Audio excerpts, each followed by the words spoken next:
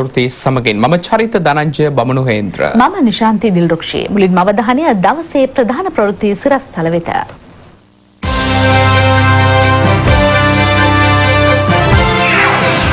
දරුවන්ගේ ආරක්ෂාවට ජාතික අරමුදලක්.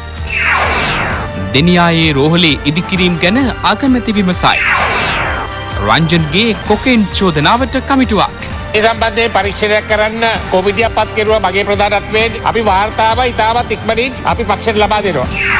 ක්‍රිකට් නිලවරණයට සියල්ල සූදානම්. නයිජීරියාවේ ගැටුමකින් එකසිය තිස් දෙනෙකු මරුට.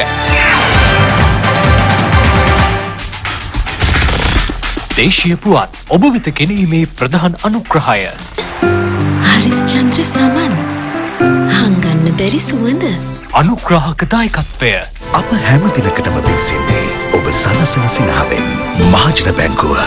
හරිස් චන්ද්‍ර සිනෝලා ළඟ දැවටෙන සුවඳ. ඔබේ ස්ථාවර තැන්පතුවට මේ හැම දෙයක්ම කමර්ශල් ලීසිං එකකින්. Commercial leasing and finance cocaine මත්‍රව්‍ය භාවිත කරන බව කියන බැති ඇමතුරුන් පාර්ලිමේන්තුවේ සිටින බවට පළ වූ අදහස් පිළිබඳ සොයා බැලීමට කමිටුවක් පත් කර තිබෙනවා. මේ පිළිබඳ සභානායක අමාත්‍ය ලක්ෂ්මන් කිරියල්ල මහතා පාර්ලිමේන්තුවට දැනුම් දුන්නා. ලක්ෂ්මන් කිරියල්ල මහතා සභාපතිත්වය දරට මෙහි සෙසු සාමාජිකින් වන්නේ පාර්ලිමේන්තු මන්ත්‍රී ආශු මාරසිංහ රාජ්‍ය අමාත්‍ය ඉරාන් වික්‍රමරත්න නිශංක නානක්කරණ මහත්වරුණුයි.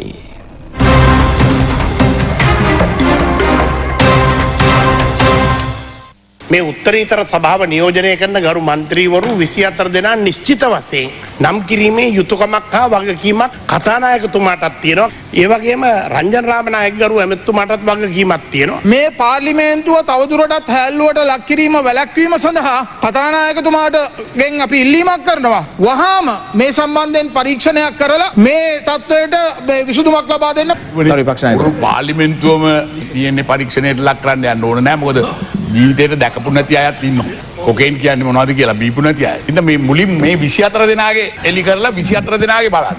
ආණ්ඩු පක්ෂ පාර්ලිමේන්තු මන්ත්‍රීවරුන්ගේ රැස්වීමේදී මේ ප්‍රශ්නය ගැන දීර්ඝ වශයෙන් අපි සාකච්ඡා කෙරුවා. එළිදරව් වෙච්ච තොරතුරු අනුව අදාළ මන්ත්‍රීවරුන්ගේ නම් ගරු අකමැතිතුමාට හෙළි කළත් නැහැ. කතානායකතුමාට හෙළි කළත් පක්ෂ සභාපතිතුමාට හෙළි නැහැ. CID එකට හෙළි කළත් නැහැ කියන එක අද කණ්ඩායම රැස්වීමේදී අනාවරණය වුණා. ඉතින් මේක බරපතල ප්‍රකාශයක්. ඒ සම්බන්ධයෙන් පරීක්ෂණයක් කරන්න කොමිටියක් පත් කෙරුවා මගේ ප්‍රධානත්වයෙන් අපි වාර්තාව ඉතාමත් ඉක්මනින් අපි පක්ෂයට ලබා දෙනවා. දැන් සාමාන්‍යයෙන් ඇමතුමා පුරුද්දක් කරනවා මාධ්‍යට යෑමට. මීට පෙරත් වගේ නම් ඉදිරිපත් කළා තියෙනවා. ඒ නිසා මං හිතන විදිහට ප්‍රථමයෙන්ම නම් තියෙනවද නැද්ද කියන එක ඔබතුමාලා මේ වගේ ලැබුණ විගසම ඒක ලැබුණ නැද්ද කියන එක ජනතාවට දැනුවත් කරන්න. නැත්නම් මේක අපි මන්තුරු සියලු දෙනා විහිළුවකට බාටපත් වෙනවා. ගරු කතානායකතුමා දැනුවත් කරන්න කිව්වා එතුමාට මේ වෙනකන් කිසිම දෙයක් ලිඛිතව ඉදිරිපත් කරලා නැහැ. ඒ ඔබතුමා ඒක මම කරනවා එතුමා වෙනුවෙන්. එතකොට එතුමා මාධ්‍යයට ප්‍රකාශ කරලා තිනවා මම මේක ප්‍රකාශ කරා මේක නිවැරදි මා ඉල්ලාස් කරගන්නේ නැහැ කියලා. ඒ නිසා ඔබතුමාලා පරීක්ෂණයක් කර- කරන්න මේ ඉල්ලාස් කරගන්නේ නැහැ කියන්නේ එතුමා වක්කීමෙන් එක් කියන්නේ මොකක් හරි. දැන් කතානායකතුමාගේ මම ඇහුවා පක්ෂ நாயක රැස්වීමේදී ඔබතුමාට මේ නම් තියෙනවද කියලා එතුමා නැහැ කිව්වා. දැන් අපේ රටේ හිටපු හොඳම ලොකුම කුඩු ව්‍යාපාරිකයා පාතාලේ නායකයා අත්අඩංගුවට අරගෙන ඉන්නවා. මදුස්ගේ කාරණේ වහගන්න මේ කරන කොන්ත්‍රාත් එකක්ද කියලා. හොඳයි, පක්ෂ බොහොම විපක්ෂ ස්තුතියි. ભેදයකින් තොරව මේ කාරණයට මැදිහත් වෙන්න කියලා අපි ඔබතුමාට ඉල්ලා සිටිනවා. ඒක විහිළුවට කාරණයක් නෙවෙයි. මේ සම්බන්ධව වගකීමෙන් කටයුතු කරන්න කියලා අපි බොහොම ස්තුතියි. හරි. ජීවිතයේ කිසිම දවසක බීඩියක්වත් බීලා නැති අපි මේකෙන් නිදහස් කළා දාන කොකෙන් ගහන අනන්ටික හෙලි කරව කළා දාන. හොඳයි හොඳයි බොහොම ස්තුතියි ගසු සිසි එක්සත් ජාතික පෙරමුණෙන් කරන පරීක්ෂණයට අමතර අමතරව කතානායකතුමාට වෙන පරීක්ෂණයක් කරන්න පුළුවන්. පළාත් සභා මැතිවරණය පැවැත්වීම සම්බන්ධයෙන් සාකච්ඡා කිරීමට පක්ෂ නායක රැස්වීමක් පාර්ලිමේන්තු සංකීර්ණයේදී අද පැවැත්වුණා. අග්‍රාමාත්‍ය රනිල් වික්‍රමසිංහ විපක්ෂ නායක මහින්ද රාජපක්ෂ යන මහතුරුන් මෙන්ම පක්ෂ නායකින් ඊට එක්ව සිටියා. පළාත් සභා මැතිවරණය කඩිනුවෙන් පැවැත්වීමේ අවශ්‍යතාව ඊට සහභාගී වූ සියලු දෙනා අවධාරණය කළා. සුළු පක්ෂවලට ඇති ගැටලු සම්බන්ධයෙන් අවසන් විසඳුමක් ලබා ගැනීමට ජනාධිපතිතුමා සමග සාකච්ඡා කිරීමටද තීරණය කෙරුණා.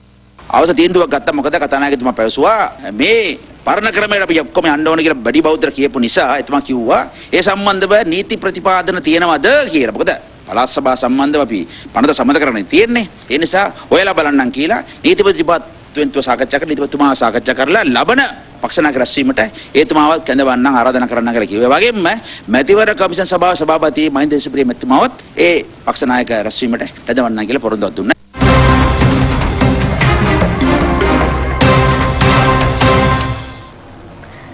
දරුවන්ගේ ආරක්ෂාව පිළිබඳ ක්‍රියාකිරීම සඳහා ජාතික අරමුදලක් පිහිටුවන බව ජනාධිපති මෛත්‍රීපාල සිරිසෙන මැතිතුමා පවසනවා.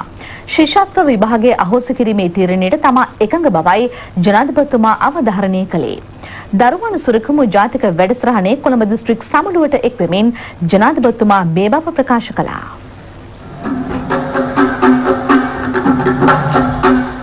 ජාතියේ ජීවනාලිය වන දරු පරපුර ආරක්ෂා කර ගැනීම සහ ඔවුන්ගේ කායික මානසික සංවර්ධනයට හිතකාමී වඩා යහපත් පරිසරයක් ගොඩනැගීම දරුවන් සුරකිමු ජාතික වැඩසටහනේ අරමුණයි. සුගතදාස ගෘහස්ත ක්‍රීඩාංගණයේ පැවති කොළඹ දිස්ත්‍රික් සමුළුවට පැමිණි ජනාධිපතිතුමා මහත් හරසරින් පිළිගනු ලැබුවා.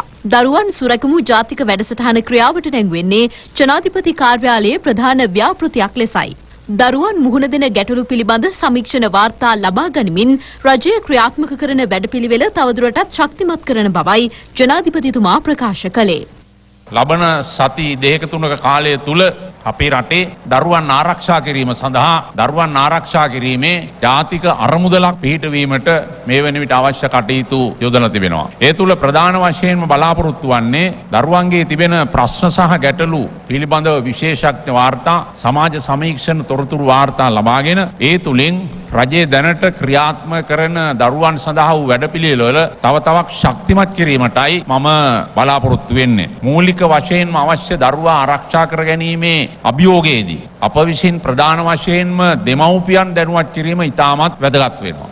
ශිෂ්‍යත්ව විභාගය සම්බන්ධයෙන්ද ජනාධිපතිතුමා මෙහිදී අදහස් පළ කළා. වාර්ෂික සංඛ්‍යාලේඛන ගත් විට පහේ ශිෂ්‍යත්වය සමත්වෙන දරුවන්ගෙන් විශ්වවිද්‍යාල අධ්‍යාපනයට තේරෙන්නේ සුදුසුකන් ලබන්නේ සීයට දොළහක් දහතුනක්. එමනම් සීයට අසූ පහකට වැඩිය දරුවනේ විශ්වවිද්‍යාලය යන්නේ පහේ ශිෂ්‍යත්වය පාස්වෙච්ච දරුව නෙවෙයි. ම මේකෙන් ශිෂ්‍යත්ව විවාග පාස්සෙන දරුවන්ගේ තත්ත්වය අවතක්සේරු කරනවා නෙවෙයි. නමුත් ශිෂ්‍යත්ව පිළිබඳව තිබෙන තරගේ සහයේ මානසිකත්වයේදී. ප්‍රධාන වශයෙන්ම ශිෂ්‍යත්වය අසමත් වන දරුවන්ට මේ කාරණාව අපි පැහැදිලි කරන්නට ඕනෑ. බස්නාහිර පලාතේ ආබාධ සහිත දරුවන් සිටින පාසල් සඳහා ප්‍රවේශ මාර්ග ඇතුළු අනෙකුත් පහසුකම් සැපයීම හා ළමා නිවාස අලුත් වැඩියා කිරීම මුල් ළමාවිය සංවර්ධන මධ්‍යස්ථාන පහක් සඳහා උපකරණ කට්ටල ප්‍රදානය ඇතුළු ව්‍යාපෘති රැසක් සඳහා මූල්‍ය ප්‍රතිපාදන ලබාදීම මෙහිදී සිදු කෙරුණා. ඇමතිනි චන්ද්‍රානි බණ්ඩාර මහත්මිය ඇතුළු විශාල පිරිසක් මෙම අවස්ථාවට එක්ව සිටියා. දෙමව්පියන් හැටියට අපිට මොන වැඩ රාජකාරිය තිබුණත් දරුවන් කියන්නේ උතුම්ම වස්තුව. අපි මුල් තැන දෙන්න ඕනි අපේ දරුවන්ට. මොන වැඩ රාජකාරිය තිබුණත් අපි හැමතිස්සෙම දරුවන් වෙනුවෙන් පැය කීපයක් හරි වෙන් කරන්න ඕනි. එහෙම නැති වුණොත් විනාශ වෙන්නේ අපිට තියෙන අපේ උතුම්ම වස්තුව. දෙනියාය රෝහලේ ඉදිකිරීම් කඩිනමින් ආරම්භ කරන ලෙස අග්‍රාමාත්‍ය රනිල් වික්‍රමසිංහ මහතා උපදෙස් ලබා දුන්නා. අංග සම්පූර්ණ හෘද රෝග එකකයක් ඇතුළු සියලු පහසුකම් සහිතව රෝහල ඉදිකිරීම සැලසුමයි. දෙනියාය රෝහලේ ඉදිකිරීම් පිළිබඳ සොයා බැලීමේ විශේෂ සාකච්ඡාවක් අග්‍රාමාත්‍ය රනිල් වික්‍රමසිංහ මහතාගේ ප්‍රධානත්වයෙන් අරලියගහ මන්දිරයේදී පැවැත්වුණා. අමාත්‍ය සාගල රත්නායක මහතා මෙන්ම නිලධාරීන් ඊට එක්ව සිටියා. දෙනියායේ දැනට පවතින රෝහල දැඩි අබලන් තත්වයක පවතිනවා. දෙනියායේ ජනවට මෙන්ම හිනිතුම මොරවක ආදී ප්‍රදේශ රැසක ජනතාවට ගාල්ල කරාපිටිය හෝ මාතර රෝහල් වෙත යාමට සිදුවීම හේතුවෙන් ගැටලු රැසක් මතුව තිබෙනවා. දෙනියාය රෝහලේ සැලසුම් කටයුතු කඩිනමින් අවසන් කර අගෝස්තු මාසය වන විට ඉදිකිරීම් ආරම්භ කළ යුතු බවට මෙහිදී අදහස් පළ කෙරුණා. ඇඳන් හයසියකින් යුක්තව රෝහල ඉදිකිරීමට නියමිතයි. දෙනියාය හැන්ෆර්ඩ් වතුයායෙන් රෝහල ඉදිකිරීම සඳහා අවශ්‍ය භූමිය වෙන් කර ගැනීම ලබන සතිය තුලදී සිදු කරන ලෙස අමාත්‍ය සාගර රත්නායක මහතා උපදෙස් ලබා දුන්නා. සියලුම වර්ගයේ යාන්ත්‍රික කියාත් ලියාපදිංචිය අද සිට ලබන 28 වනදා දක්වා සිදු කරන බව පොලිස් මාධ්‍ය ප්‍රකාශක පොලිස් අධිකාරී රුවන් ගුණසේකර මහතා පවසනවා. මාධ්‍ය හමුවකට එක්වෙමින් ඒ මහතා මේ බව කියා සිටියා. අතිගරු ජනාධිපතිතුමා විසින් ගන්නා ලද තීරණයක් ප්‍රකාරව දිවයින තුළ තිබෙන සෑම යාන්ත්‍රික කියතක් ලියාපදිංචි කිරීම සිදු කරගත යුතු වෙනවා. අද දින සිට පෙබරවාරි 28 දිනය දක්වා කාලය තුලදී තම තමන් එම යාන්ත්‍රික කියත ළඟම තිබෙන පොලිස් ස්ථානයට රැගෙන ගොස් ලියාපදිංචි කරගත යුතු වෙනවා. මේ පිළිබඳව අවශ්‍ය සියලුම උපදෙස් මේ වන විටත් පොලිස්පතිතුමා විසින් සෑම පොලිස් ස්ථානයක් වෙතම ලිඛිත උපදෙස් සහ නියෝග ලබා දී අවසන් ශ්‍රී ලංකන් මිහින් ලංකා ගුවන් සමාගම්වල හා ශ්‍රී ලංකා කේටරින් සමාගම්වල සිදු වූ බව කියන අක්‍රමිකතා විමර්ශනයට පත් කළ ජනාධිපති කොමිසම හමුවේ අමාත්‍ය කබීර් හෂීම් මහතා අද පෙනී සිටියා. අනතුරුව මාධ්‍ය වෙත අදහස් දැක්වූ ඒ මහතා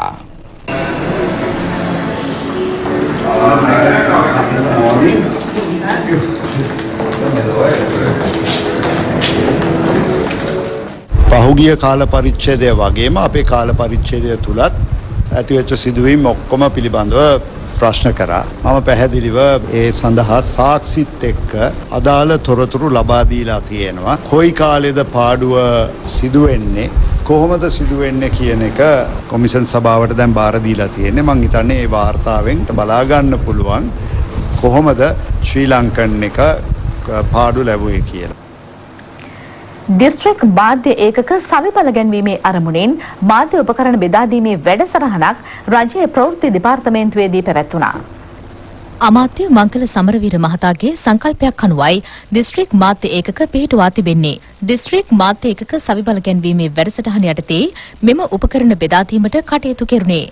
ඒ අනුව පරිගණක ෆැක්ස් යන්ත්‍ර හා කැමරා ඇතුළු උපකරණ රැසක් බෙදා දුන්නා. ඒ සඳහා වැය කළ මුදල රුපියල් මිලියන 12ක්.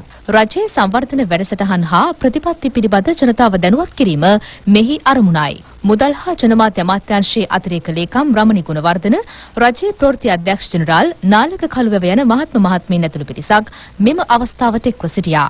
ඩිජිටල් මාධ්‍යයට මාරුවේ යුතු කාලයට අපි දැන් එළබිලා තියෙනවා භෞතික සහ අනෙකුත් මානව සම්පත් වෙනස් කරන ගමන්ම අපේ තියෙන විශේෂිතම ඒකකයක් වන මේ දිස්ත්‍රික් ඒකක සවික් බල ගැන්වීම අපි කළ යුතුව තියෙනවා මේ නූතනයේ තියෙන අවශ්‍යතාවයන්ට ගැලපෙන ආකාරයට. මහජනතාව තමයි රජයට සල්ලි දෙන්නේ. ඒ මුදල් වලින් කරන සේවය මහජනතාව දැනගන්න ඕනේ. දැන් අද වෙනකොට රට පුරාම සංවර්ධන කටයුතු රාශියක් ක්‍රියාත්මක වෙනවා. ගරු ජනාධිපතිතුමාගේ ප්‍රධානත්වයෙන් ග්‍රාම ශක්ති වැඩසටහන අද රට පුරාම ක්‍රියාත්මක වෙනවා. අනිත් පැත්තෙන් ගම් පෙරළිය වැඩසටහනත් එන්ටර්ප්‍රයිස් ශ්‍රී ලංකා වැඩසටහනත් ක්‍රියාත්මක වෙනවා. මේ වැඩවලින් ප්‍රතිලාභ ඇත්ත වශයෙන්ම ලැබිය යුත්තන්ට ලැබෙනවද කියන එක හොයන්න පුළුවන් වෙන්නේ මාධ්‍යයට.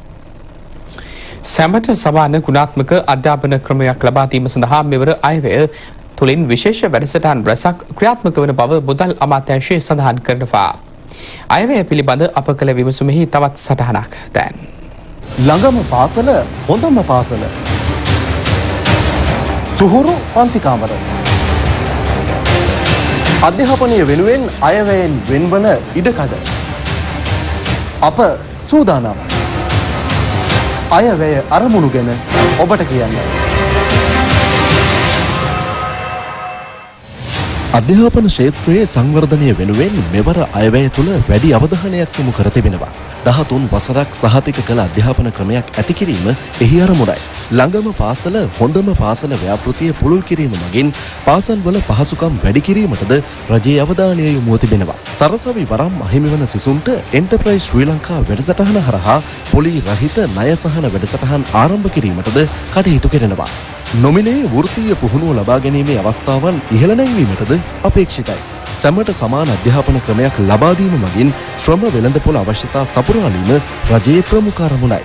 විෂයමාලා ඔය ඉගැන්වෙන අතරේ අපත් පුරවැසියෙක් බිහිවීමට අවශ්‍ය පසුතලය සකස් කිරීම අධ්‍යාපන ක්‍රියාවලිය හරහා කෙරෙන්න ඕන පාසල් වලින් දැනට විශ්වවිද්‍යාල සඳහා තෝරා ගන්න ශිෂ්‍ය පිරිස ප්‍රමාණවත් මදිකමක් තියෙනවා. විද්‍යාපීඨ කෙරේ වැඩි අවධානයක් යොමු කරත් වඩාත් හොඳයි කියලා හිතෙනවා. ලබන අය ලේඛන මගින් ළමුන්ට වැසිකිලි කැසිකිලි පහසුකම් ඒ වගේම ජල පහසුකම් මෙහෙම ලබා දෙනවා නම් ගොඩක් හොඳ දෙයක් වෙනවා. උසස් අධ්‍යාපනය ලබන ශිෂ්‍ය ශිෂ්‍යාවන් හට තව තවත් ආධාර වැඩි කර ලබා දෙනවා නම් මේ ඉදිරි අයවැයෙන් අපි ඉතාමත්ම සතුටටපත් වෙනවා. කෙටි විරාමයක් දැන්